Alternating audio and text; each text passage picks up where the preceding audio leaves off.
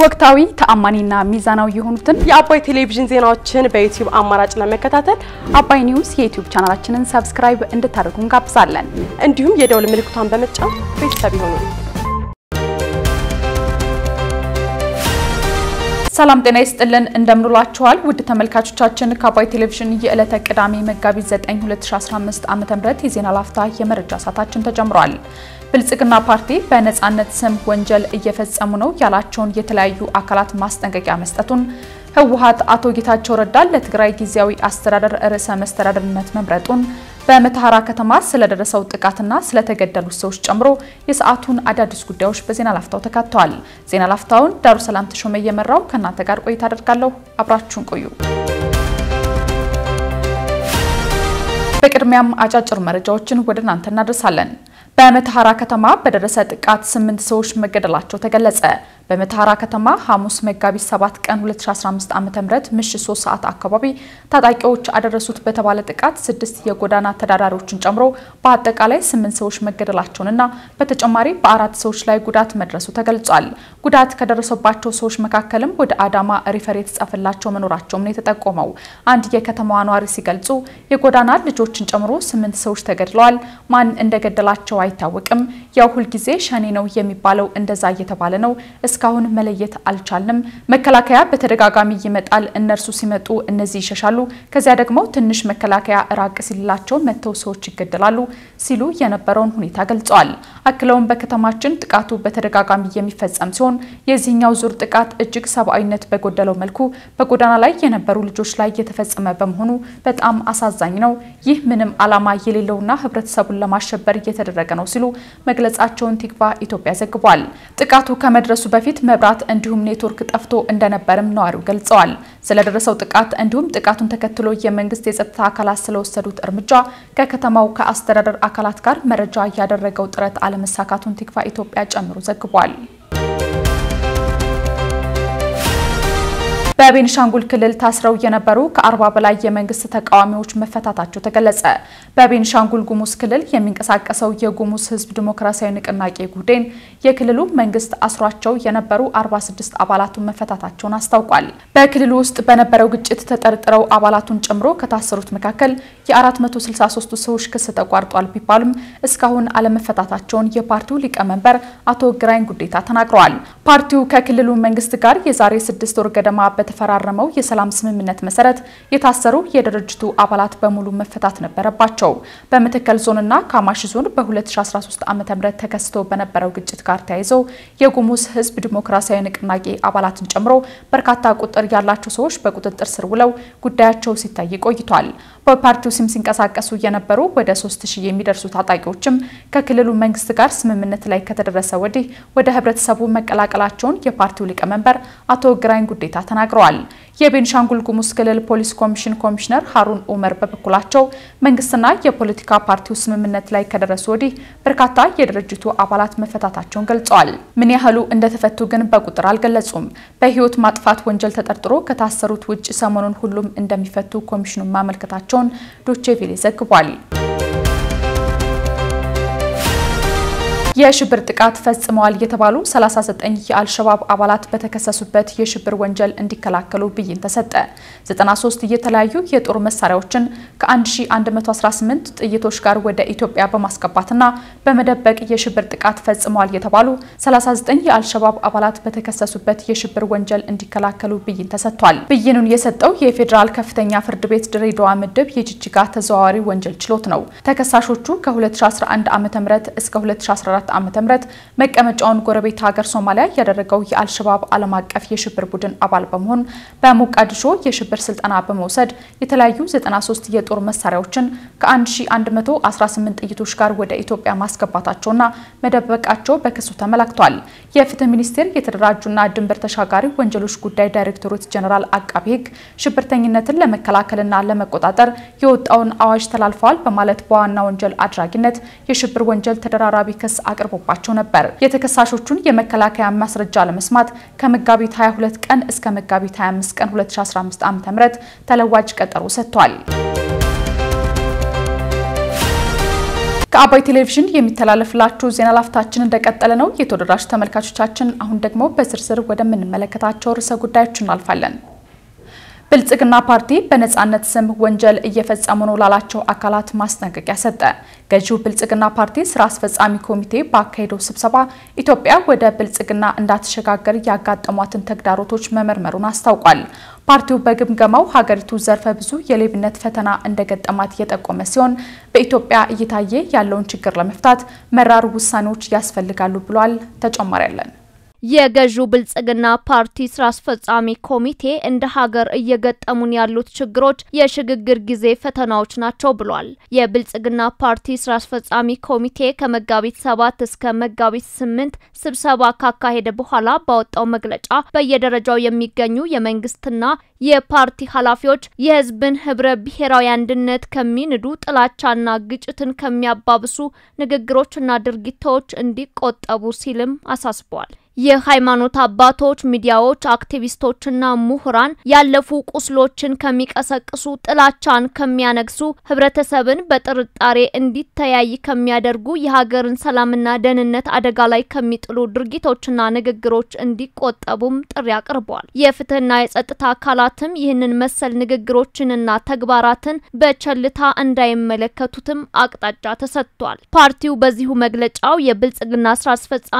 ኮሚቴ አካላት ሐሙስ መጋቢት ሰባት ጀምሮ ለሁለት ቀናት ባካሄደው ስብሰባ በኢትዮጵያ በአሁኑ ወቅት እያጋጠሙ ያሉ ፈተናዎችን በተመለከተ በዝርዝር መወያየቱንም አስታውቋል። የስራ አስፈጻሚ ኮሚቴው በዚሁ ስብሰባው በኢትዮጵያ በአሁኑ ወቅት እየታዩ ያሉ ተግዳሮቶች በአምስት ዋና ምክንያቶች የመጡ መሆናቸውን ከስምምነት ላይ እንደደረሰበትም አስታውቋል። መግባባት ያልተፈጠረባቸውና ያልተፈቱ የታሪክ ዕዳዎች፣ ነጻነትን ለማስተዳደር አለመቻል እንዲሁም ህብረ ብሔራዊ አንድነትን የሚፈታተኑ ሁኔታዎች እየገነኑ መምጣታቸው በገዢው ፓርቲ በፈተናነት የተነሱ ዋነኛ ምክንያቶች ናቸው። ብልጽግና ፓርቲ በፈተናነት ከጠቀሳቸው ውስጥ የኑሮ ውድነትና ሌብነትም ይገኙበታል። የኢትዮጵያ ታሪክ ተገቢው እውቅና ሊሰጠው የሚገባው እድል እንደመጣ ሁሉ መራገፍ የሚገባው ዕዳ ያሸከመ መሆኑን መዘንጋት እንደሌለበትም የብልጽግና ፓርቲ የስራ አስፈጻሚ ኮሚቴ በዛሬው መግለጫው አመላክቷል።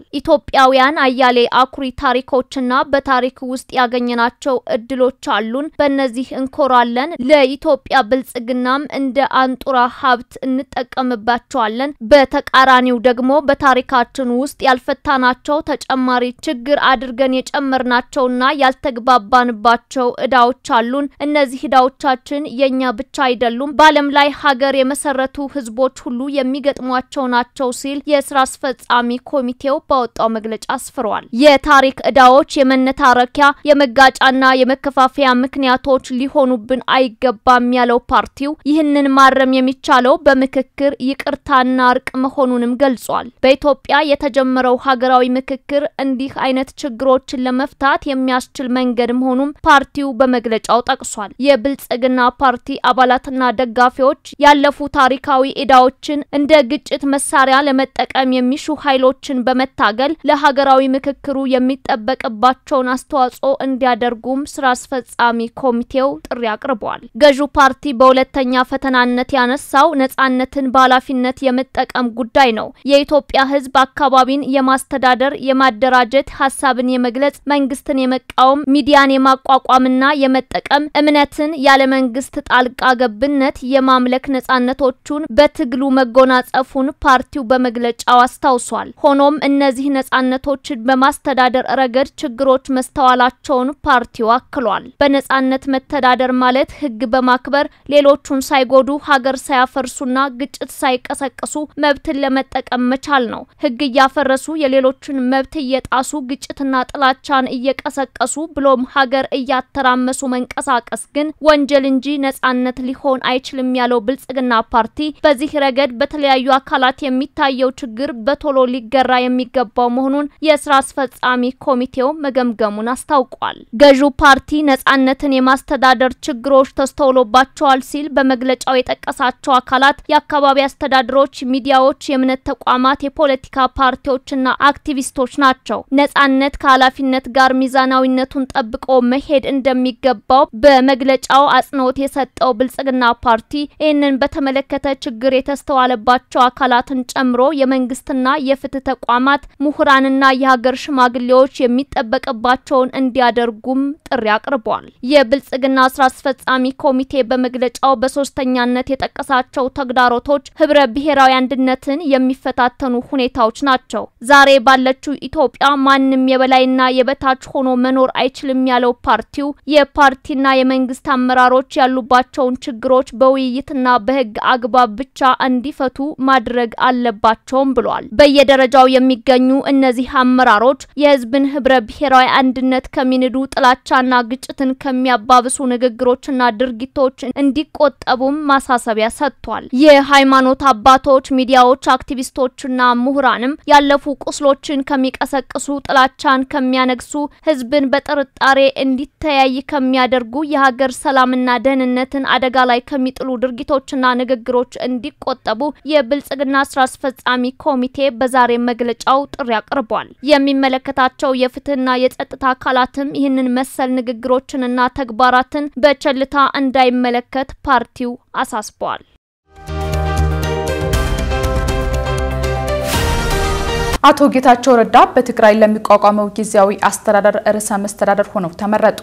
የህወሀት ማዕከላዊ ኮሚቴ ትላንትና ባካሄደው ስብሰባ አቶ ጌታቸው ረዳን በክልሉ ለሚቋቋመው ጊዜያዊ አስተዳደር መሪ አድርጎ በአብላጫ ድምጽ መርጧል። የክልሉ ርዕሰ መስተዳደር ተደርገው የተሾሙት አቶ ጌታቸው ረዳ ክልሉን ከስድስት ወር እስከ አንድ ዓመት ድረስ እንደሚመሩ ተገልጿል። እያሱ በለጠ ተጨማሪውን እንደሚከተል ያቀርበዋል። የህወሀት ቃል አቀባይ አቶ ጌታቸው ረዳ በትግራይ ክልል በመቋቋም ላይ የሚገኘውን የክልሉ ጊዜያዊ አስተዳደር በፕሬዝደንትነት እንዲመሩት ከህወሀት በኩል ተመርጠዋል። ከሰሞኑ በአዲስ አበባ የነበሩት ጌታቸው ረዳ በትግራይ አዲስ የሚቋቋመውን ጊዜያዊ ርዕሰ መስተዳደር መታጨታቸው ለፓርቲያቸው ቅርበት ያላቸው ምንጮች ገልጾ የነበረ ሲሆን አሁን ግን መመረጣቸው ተነግረዋል። ትግራይ እንዲመሩ በህወሀት ማዕከላዊ ኮሚቴ የተመረጡት አቶ ጌታቸው የማዕከላዊ ኮሚቴውን አብላጫ ድምፅ አግኝተዋል። የቀድሞ የህግ መምህር አቶ ጌታቸው ረዳ በመንግስትና በህወሀት መካከል በፕሪቶሪያ የሰላም ስምምነት የህወሀት ዋነኛ ተደራዳሪ ነበሩ። በክልሉ ለሚቋቋመው ጊዜያዊ አስተዳደር አመራሮችን ለምረጥ በተደረገው ሂደት በመጀመሪያ የክልሉ ርዕሰ መስተዳደር ዶክተር ደብረጽዮን ገብረ ሚካኤል በአብላጫ ድምፅ መመረጣቸው ተነግሮ ነበር። ነገር ግን የአመራር ቦታውን ለአዳዲስ አመራሮች ለመስጠት በተደረገው ስምምነት መሰረት ዳግም ምርጫ መደረጉ ተነግሯል። በዚህ ሁለተኛ ምርጫም በአብላጫ ድምፅ አቶ ጌታቸው ረዳ ተመርጠዋል። አቶ ጌታቸው ረዳ በአብላጫ ድምፅ የርዕሰ መስተዳድሩን ቦታ ቢይዙም በአመራር ልምዳቸው የተነሳ በህወሀት ማዕከላዊ ኮሚቴ አባላት ጥያቄ ተነስቶባቸው እንደነበር ተገልጿል።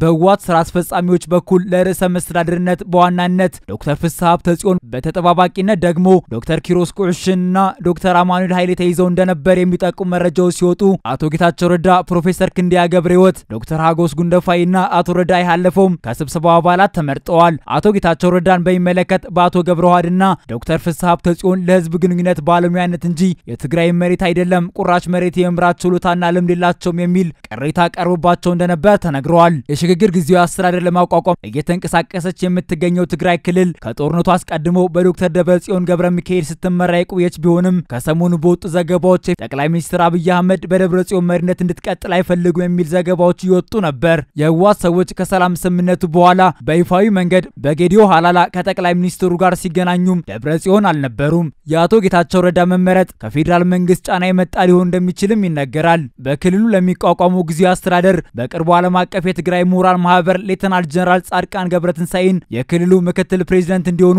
በቅርቡ በእጩነት ማቅረቡ ይታወቃል። በክልሉ ጊዜያዊ አስተዳደር የሚቋቋመው ፕሪቶሪያ ላይ በፌዴራል መንግስቱና ህወሓት መካከል በተደረሰው የሰላም ስምምነት መሰረት ሲሆን 30% ከህወሓት፣ 25% ከታጣቂ ኃይሎች፣ 30% የሲቪክ ተቋማትና 15 ከተቃዋሚ የፖለቲካ ድርጅቶች የተውጣጣ የትግራይ ጊዜያዊ አስተዳደር ወደ ተግባር ሲገባ አስተዳደሩ ከስድስት ወር እስከ አንድ ዓመት ይቆያል ተብሏል።